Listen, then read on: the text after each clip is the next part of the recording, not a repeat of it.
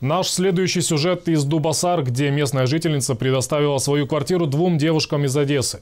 Я провожу мастер-классы, рисую аквагрим. В основном это основная моя профессия. У меня фотостудия своя в Одессе, в центре города. О своей прошлой жизни они еще говорят в настоящем времени, хотя в Приднестровье Ольга и Алиса уже почти трое суток. Там, в Одессе, им пришлось оставить квартиры, работу и друзей и переехать на 170 километров юго-западнее от родного города, в Приднестровские Дубасары. Ты работаешь морально и физически для того, чтобы вкладываешь много на это сил.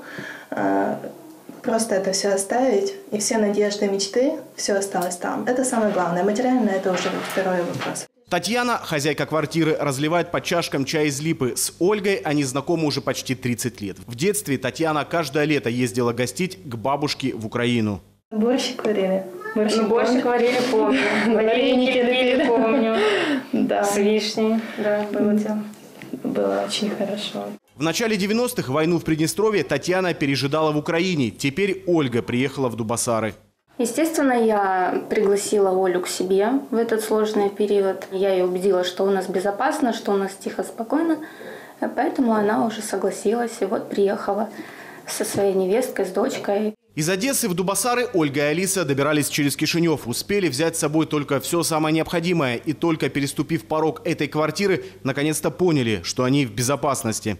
Как будто бы там мы посмотрели страшный фильм или страшный сон. Да. Мы проснулись, и здесь абсолютно все прекрасно, дети радуются, бегают, прыгают. Чисто на энергетическом уровне я чувствую, что здесь хорошо и спокойно. Плюс нас встретили настолько душевно, народ у вас очень...